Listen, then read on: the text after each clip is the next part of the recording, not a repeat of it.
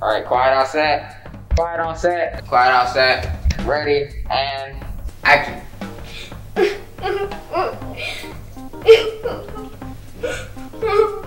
wanna? Okay, let me see. All right.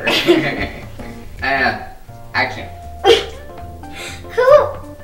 Come on now. Alex, oh, you got simple son. This is breaking news. According to. I got it. Okay. I got it. Yeah, I got my part. I didn't- That's a that's a blue.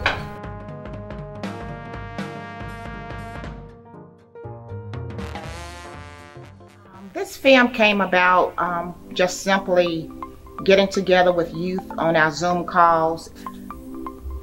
When we were trying to find a way to uh, let our voices be heard, our pastor, uh, C. Michael Washington, gave us a challenge to come up with an idea to make awareness of the violence and how it affects others. Miss Edith, I think, brought up that we should make a video out of it, and so Mrs. Terry, who is our director, she kind of wrote out a script for us. a lot of the youth were concerned about um, the violence that's taking place in our cities, in our communities. So, in talking about it, we were able to come up with a idea, which was to produce a a film to show the effects of violence. It tells a story uh, of what not to do in today's world. It let us know that this could happen to anybody at any time. It doesn't mean that, you know, the person was at the wrong place at the wrong time. But as that old saying goes, yes, sometimes you can be out and about, not necessarily with the bad crowd, but just being out and being an innocent bystander. And this can happen to you. The message of this film is to let the world know that once a crime is committed, it does not just only affect the person that's doing the crime or the person that was involved in the crime, it affects everybody. The message of the film was to bring awareness to the world to stop the violence. We need to come to Christ. We need to come to God. If if one of your loved ones die and it affects the whole community and we should all turn to God. To me, the message of the film was for the kids to have a positive attitude, learn to listen to your parents, and keep keep the faith, keep God in your life. because hate can only do so much, but love is the ultimate power. I think it'll be good for the community. Uh, uh, you know, we see this on a daily basis. It's sad to say we see it on a daily basis. It has young people in it, so there's a combination of individuals in the film and the role that they're playing, their character they're portraying. It is in such a way that even a young person can relate to it. And so I think it's actually going to bring everyone to Christ and going to stop violence.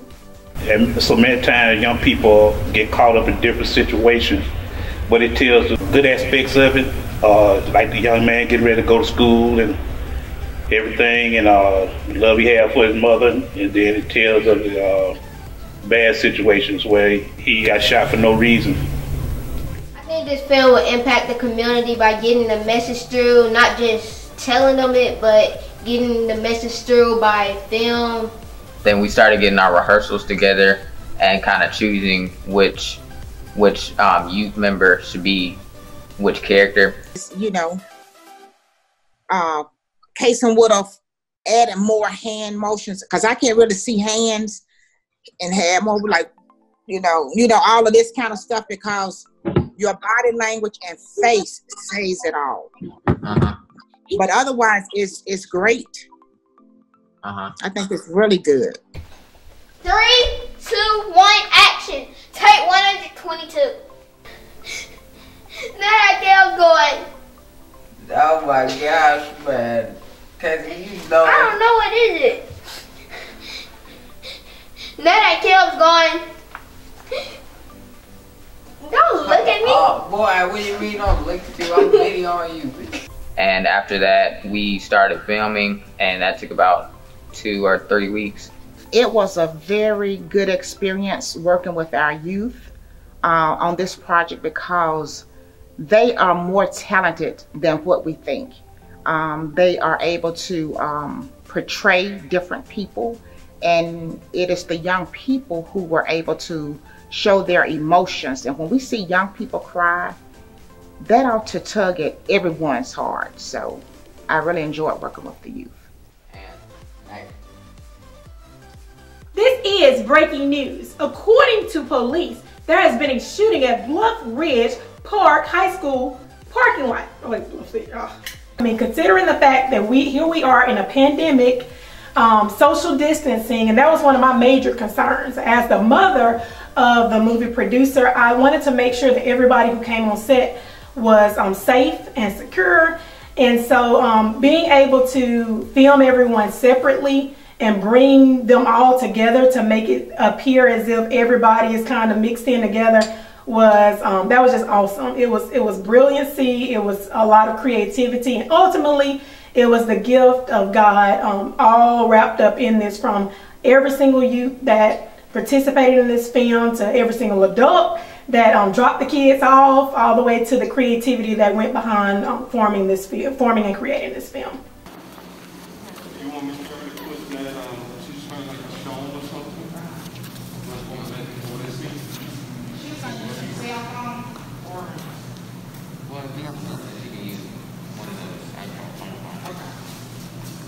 I was amazed. I, I mean, I was intrigued by uh, the the way everything was set up, the uh, professionalism of the uh, uh directorial staff, and and and and the talent from the uh, different actors, and the, especially the young pe- younger people. And action. the favorite part. Well, I think the favorite part is going to be like your editing, which is in every uh, your editing, which is in every scene. Not really every scene, but in some scenes, like when um, DT Hudson was in was in the um, jail scene. That was like the best editing I've ever seen, and it was it was like great. Dang, that was Go ahead, Pat. Oh, let's say let's say age forty-five. Huh? Age forty-five. Eight. Age forty-five. Eight forty-five. Age. Age 45. Oh, age forty. Okay. That's good, man. That's good. Boy. Age 45. Age 45. That's Tyler Jr. That. Pennsylvania. Oh, that's That's pretty good. I'm talking about. DT. This is my first time actually participating in a film of this sort. And so just seeing how we went from talking about it, the trip coming together, the rehearsals, and then seeing what all it takes to actually put together a film of this magnitude, I was pretty amazed uh, about how it seems simple, but wow, it's, it's pretty complicated. Then at the same time, there are things that go on behind the scenes uh, as far as putting together the production portion, like, wow, okay, that's pretty neat. Uh, one of the best parts about being on set was kind of, kind of seeing the reaction of the actors um, when they when they saw that okay we're going to be on a green screen and we're going to transform this green screen into a courtroom or into a park. To see it from the green screen to in a courthouse setting, it just totally amazed me. And it just, At one point you have a green screen, the next point you're in a courtroom. It's like you can really make the scene come alive with the different technologies and techniques that we used here on set. It was amazing. It was like I just like couldn't believe it at first, but it's like now like I can believe it, but like I still can't believe it. Seeing the transformation from the green screen to the trailer, it's really really amazing, and um, I like being the editor because as an editor I get to choose what and where we put our actors, and it's kind of like drawing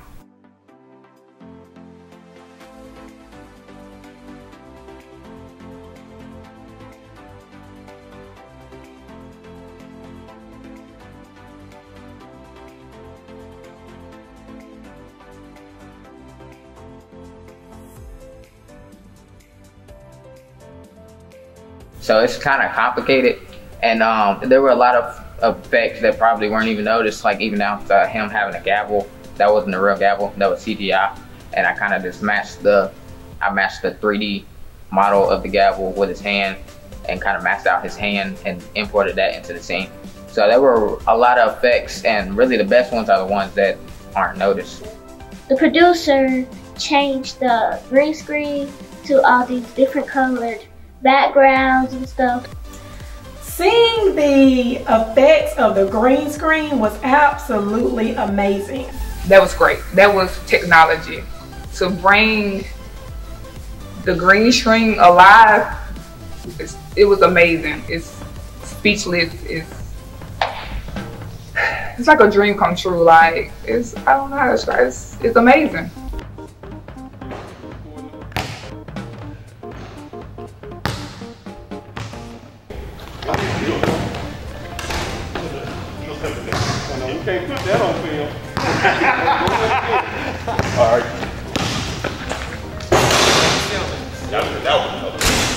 The best part about being on set was everything was fun. Everybody had good vibes. And action. Okay, son. Don't forget you have practice after school. I won't.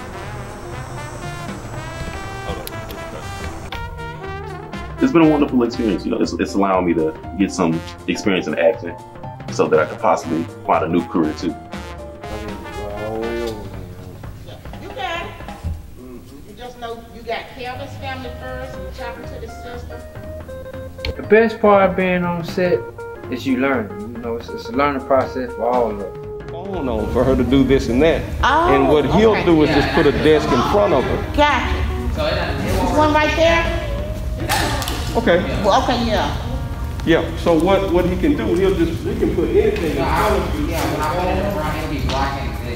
Oh, okay, got it. I got it.